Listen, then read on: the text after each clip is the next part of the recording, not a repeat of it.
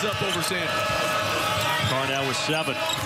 Omoruyi, he's got a size advantage and a great catch and a flush by Candido Sa. Omoruyi, I'm telling you, man, he is solid. His footwork is solid. He's taken two charges here today. Knocked down a free throw.